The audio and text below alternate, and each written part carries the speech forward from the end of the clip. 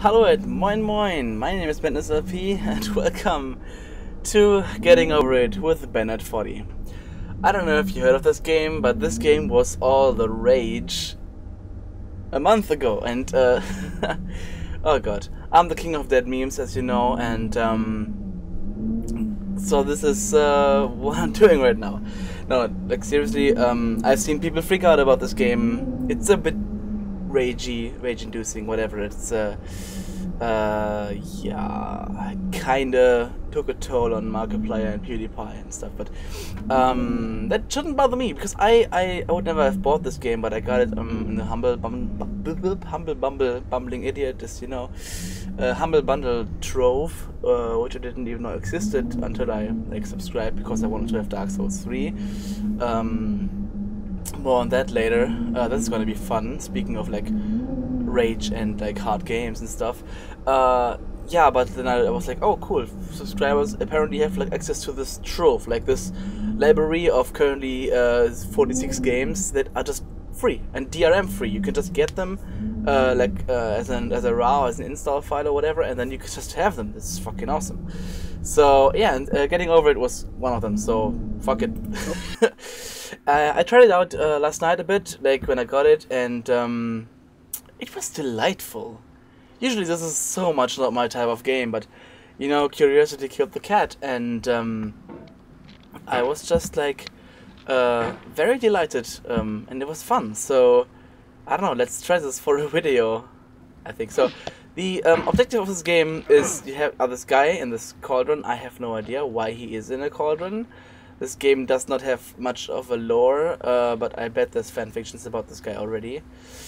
Uh, this is not Bennett Foddy, even though, um, I don't know, I think many people might wish this was Bennett Foddy, like uh, doomed to a life uh, in a cauldron with no legs and, uh, I don't know, climbing up this mountain, this uh, never getting to the top. But yeah, that's the gist of the game. You have you have this hammer and you control it with the mouse. You can control it with a joystick, I think, and also with the trackpad. Um, yeah, I think mouse is the best. I have um, I don't know my mouse. There's no feeling more intense than starting over. If you deleted your homework the day before it was due, as I have, or if you left your wallet at home and you have to go back after spending an hour in the commute. If you won some money at the casino and then put all your winnings on red, but it came up black.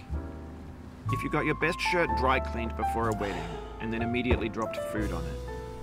If you won an argument with a friend and then later discovered that they just returned to their original view. Starting over is harder than starting up. If you're not ready for that, like if you've already had a bad day, then what you're about to go through might be too much. Feel free to go away and come back. Hmm. I'll be here. Well, yeah, so, um... Alright, thanks for coming with me on this trip. I'll understand if you have to take a break at any point. Just find a safe place to stop and quit the game. And don't worry, I'll save your progress, always. Even your mistakes. Too nice of you. Um... This game is a homage to a free game that came out in 2002 titled Sexy Hiking. The author of that game was Jazzuo, a mysterious Czech designer who was known at the time as the father of B games. And B games are rough assemblages of found objects. Designers slap them together very quickly and freely, and they're often too rough and unfriendly to gain much of a following. They're built more for the joy of building them than as polished products.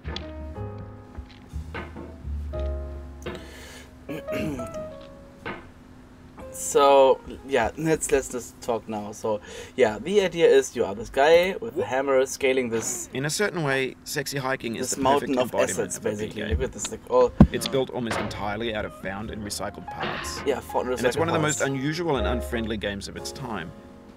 Just in it your task is simply to drag yourself up a mountain with a hammer. And that act of climbing in the digital world or in real life has certain essential properties that give the game its flavor no amount of forward progress is guaranteed.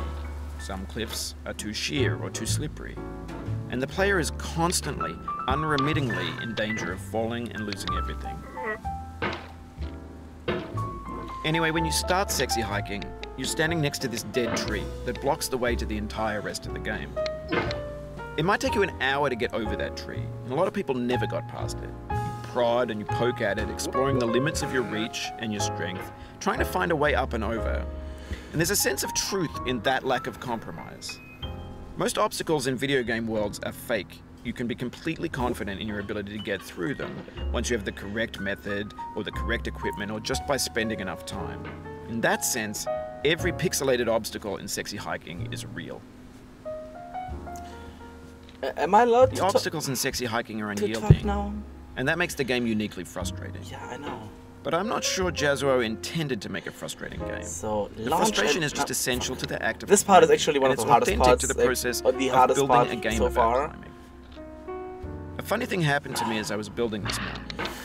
I'd have an idea for a new obstacle, and I'd build it, test it, Ah, and it would usually turn out to be unreasonably hard. but I couldn't bring myself mad, to make I'm it easier. mad. I'll never get It mad. already felt like my inability to get past a new obstacle was my fault as a player rather than as a builder. Imaginary mountains build themselves from our efforts to climb them, and it's our repeated attempts to reach the summit that turns those mountains into something real. When you're building a video game world, you're building with ideas, and that can be like working with quickset cement. You mold your ideas into a certain shape that can be played with, and in the process of playing with them, they begin to harden and set until they're immutable, like rock. And at that point, you can't change the world, not without breaking it into pieces and starting fresh with new ideas. Uh, what am I doing? So I'm allowed to talk now, right? So yeah, this part with the lamp up there, it's uh, one of the hardest, like, like one of the really harder parts of the game actually. Like seriously, um, getting past this part and then falling down is absolute cancer and really disheartening. Um, but right now I'm I'm doing okay. I'm not doing too badly. So come on. I don't know how to do this, and the mouse, the controls are so bad. I don't know.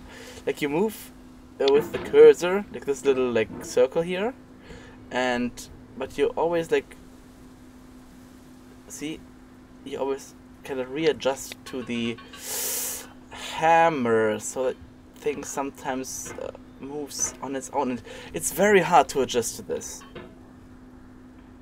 I don't know. Like some people found out like how to adjust this. Uh, so of course those people who finished the goddamn game like pewdiepie and uh, i think markiplier did too. I, I don't know. Fucking hell.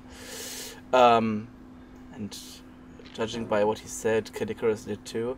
But i don't fucking hell. I don't i don't get this. I don't get this. I'm not one for precise control like for like pixel perfect or whatever it's called.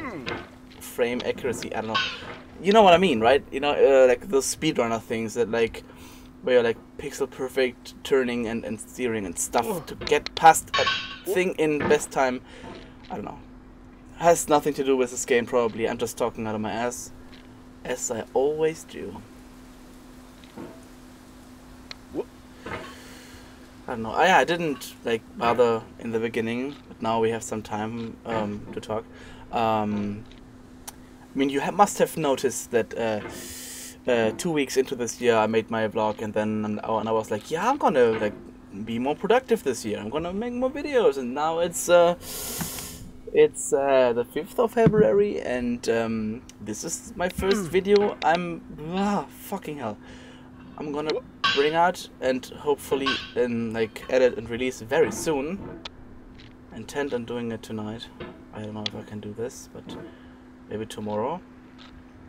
Uh, like release tomorrow because editing and stuff like it also uploading takes a long time here because my PC is not the strongest when it comes for like editing for processing power and shit, and uh, my internet is also shit and I don't know. Um, thing is, uh. I still have to get my time things right, and I have to like like get rid of things that hold me back, or like uh, manage my my duties and my, and the things that uh, like in my life better. Of course, everybody needs to get that, but I don't know. Maybe it's because my my life is changing like all the time. Like I don't know. Uh, this is now my third job since I completed my apprenticeship in summer of 2016. Um, I guess people have worse track records staying at a company for only three months instead of me like half a year. But still, um, I don't know. It, it it could have been better. Uh, I don't know if I should even talk about this personal stuff or if anybody even cares. But I don't know. I just feel like talking right now because I. I don't know. It helps me concentrate. I, I need music, or chatter or something in the background to to uh, concentrate. Because I do not know. Oh yeah, also this mountain kind of symbolizes something. That's something I want to talk about. Um, I wasn't so active in 2017, so I didn't. Uh, uh, I've talked about it before, but I didn't even realize that. Uh, have I talked about this in the vlog? I didn't even realize that in April 2017, uh, in the apocalypse, they introduced that you now need 10,000 views on your channel to um, be able to monetize your stuff. And I, at that point, like when I realized that, like in early this year, had like over 5,000 views, um, which is amazing, and I'm extremely thankful for everyone. You've done this part before. You know it's possible. No, I've Just not done this. The Shut the fuck up. I didn't do it before. I'm working on this for like minutes now. Whew. Um. Uh. Yeah, but what an idiot! Like I was just talking to you. I hate this guy, Bennett Foddy. Um. I don't know how to get past this. Um, but yeah, I. But yeah, thank you for giving me over 5,000 views over these um, past like four years. Is it now that I'm on YouTube? I started in early 2014, and um, and uh, I'm so odd right now. Like this idiot, like he interrupted me. Um, like most of my views uh, last year probably came from my hmm. April Fool's thing, uh, the Jacksepticeye trouble video, which stands at like over 600 views right now, which is absolutely amazing. But, uh, which shows me that I should meme more and be more about them memes and maybe make more of those shitty little meme videos like that one, because that was so much fun to do, and I was so happy that people seemed to love this video and like share it and stuff. So I mean my videos normally do not get 600 views they get like 30 or 50 i don't know. Or in rare cases like many more a few hundred like this like part 3 poker fusion. That was so weird. Um oh yeah thanks for that that was awesome no uh, now beginning of this year youtube uh, changed their guidelines again you might have heard of Logan Paul um, and the Suicide Forest thing, and YouTube did the responsible thing. One of their big favorite creators fucked up extremely, and YouTube decided to um, uh, change their rules so um, all the smaller channels get fucked over. Now you get like, I don't know, what was it, like 10,000 hours of watch time per month, or I don't know, like, like a thousand, I think, or maybe or, or, or, or like several hundred hours of watch time on your channel, and fuck, and like a bunch of like subscribers or so. I, I don't even know. So um, a goal that seems to be absolutely unattainable for me for in long my long shot, like for a long time, um, until like. Pff, until I suddenly start uploading daily and everybody like loves my shit, which I don't think is ever gonna happen. Uh, fuck. Um. So yeah. So happy birthday! Now you can definitely watch. Uh, like definitely all my videos are gonna stay ad free for a long, long time, and uh, also this gives me some crea creative freedom for my memeing and for stuff like this. For example, I definitely know which uh, copyrighted song to use for this video um, from uh, the Guardians of the Galaxy soundtrack. I don't know if it was one or two, but from one of those, there's this one song. This song that's like perfect for this game, and uh, now I don't have to worry about the YouTube fucking copyright uh, rules and, and and the copyright school or whatever that that Happy Tree Friends uh, video they they made to be like, oh my god, we are so cool. Um, because I don't have to care about copyright anymore because it's not like I'm gonna make money off this uh, anytime. I, mean, I never did it for the money. Like, don't get me wrong, but would have been nice. That, wow, for this to my, maybe. For years now, people have been Be a predicting career that games would soon Holy be made out of prefabricated objects, bought in a store and assembled into a world. And for the most part, that hasn't happened Shut up. because the objects in the stores are trash. Shut up. I don't mean they look bad Shut or up. that they're badly made, Shut up. although a lot of them are. I mean they're Shut trash up. in the way that food Yeah, becomes trash as shut soon as you put it in the Yeah, sink. let's. Um, I'm gonna. Things are made now, to be so wait. consumed and used in a certain context. So the thing is, Once the moment is that tree down there on the left, that In the context tree down there, pass by in seconds. that was transparent. That was background, and I got flung to the. Le- I don't know, this is like with the camera, but I got flung to the left, to the left, towards the tree, like when I was like on the on on the wall here and stuff, and. uh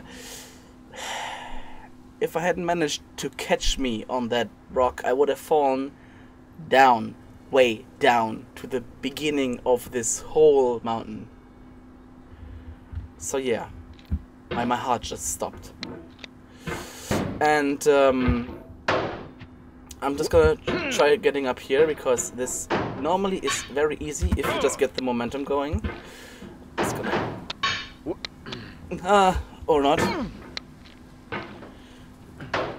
Ah, fuck.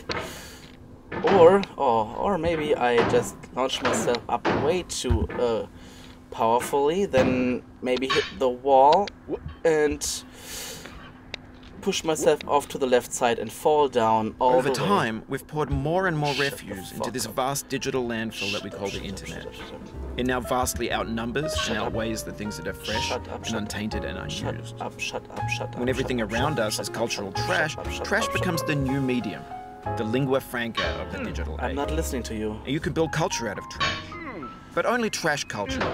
B games, B movies, Team 10, B music, Low B philosophy. YouTube 2017. Maybe this is what digital culture is.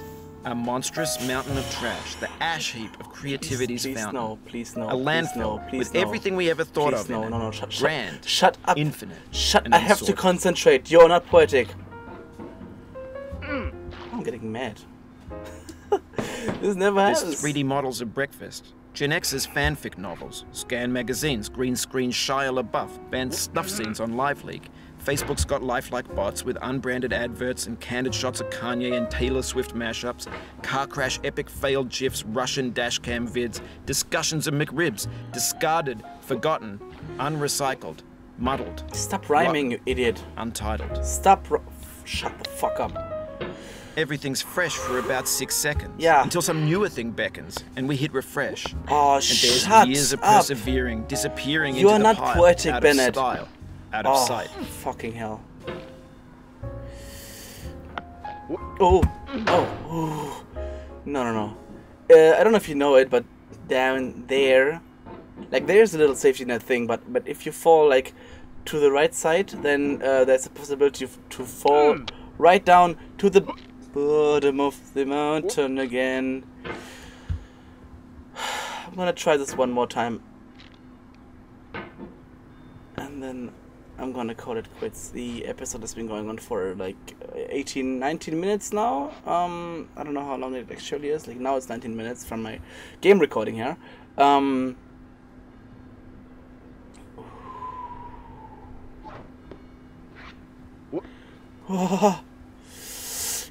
me over there.